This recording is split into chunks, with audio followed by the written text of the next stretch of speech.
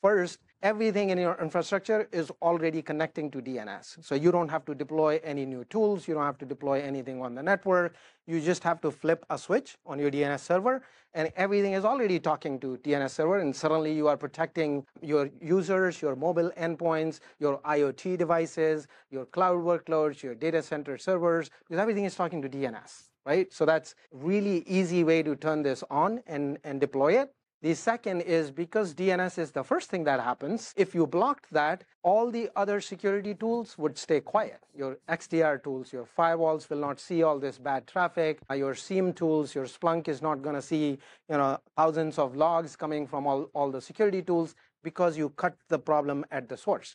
So everything quiets down. When we talk to our customers who've deployed this, turned this on, uh, they tell us, some of them tell us that they saw 50% uh, reduction on their traffic, on their load, on their firewalls uh, when they you know, started blocking these bad DNS queries.